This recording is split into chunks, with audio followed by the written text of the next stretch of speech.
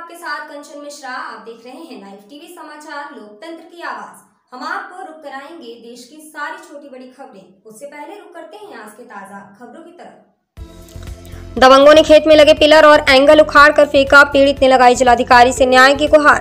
पूरा मामला जनपद बांदा की नगर कोतवाली के अंतर्गत सर्वोदय नगर का है जहाँ पर पीड़ित मनी राम राकेश कुमार पुत्रगण स्वर्गीय देवी दीन आरक कौम आरक के खेत में तार पिलर कर, कराया था, जिसमें बगल में दबंग किस्म के लोग शरद गुप्ता, संजय गुप्ता, पुत्रगण मुन्नूलाल गुप्ता और सांताविक गुप्ता और सत्य गुप्ता, पुत्रगण संजय गुप्ता, कौम वैश्य बाज़ार की लेबर लगभग 20 लोग और पुष्पेंद्र त्रिपाठी और अन्य दबंगों को लेकर लोडर लेकर तार बाँध कर तार पिलर खींच कर बरामद कर दिया। शेष सामान आज दिनांक 16 सुबह ट्रैक्टर लोडर द्वारा तोड़ दिए हैं। गाली गलौज करते हुए जान से मारने की धमकी दे रहे हैं और कह रहे हैं कि ज़िंदा खड़े खड़े गड़वा दूँगा, पेट्रोल डलवा दूँगा। उक्त व्यक्ति दबंग और बेईमान किस्म के लोग हैं। इसी प्रकार गरीब लोगों को धमकी देकर जबरन कब्जा करते हैं। डरवा धमका कर जबरन खेत में कब्जा करना चाहते हैं। खेत में बनी नाली को कब्जा करना चाहते हैं। उक्त लोग बहुत ही समर्थवान होने की वजह से पुलिस प्रशासन के उक्त लोगों की बात को अमल कर रहे हैं और दबाव में आते जा रहे हैं। पीड़ित के मुताबिक इस घटना को मोहल्ले के और वहाँ से निकलने वाले तमाम व्यक्तियों ने देखा है। पीड़ित के परिवार के सदस्यों के साथ कोई घटना घटित होती है तो उसके जिम्मेदार उक्त सभी दबंग व्यक्ति होंगे। पीड़ित ने जिलाधिकारी से गुहार लगाते हुए उक्त दबंग व्यक्तियों के खिलाफ कड़ी कार्यवाही करने की मांग की है और अपनी सुरक्षा की गुहार लगाई है।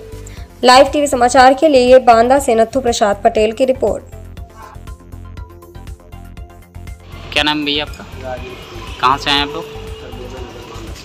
क्या है मामला आप लोग लेके आए?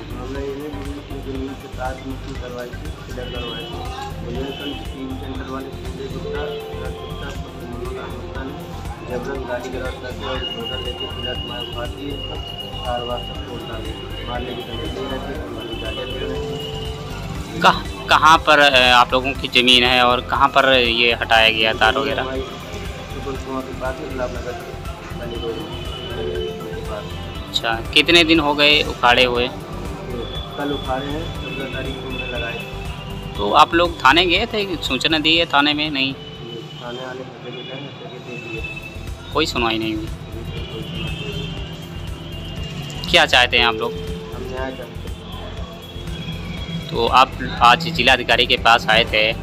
आप लोगों ने आवेदन दिया। क्या आश्वासन मिला है आपको? कि जाइए आपका काम होगा। आपको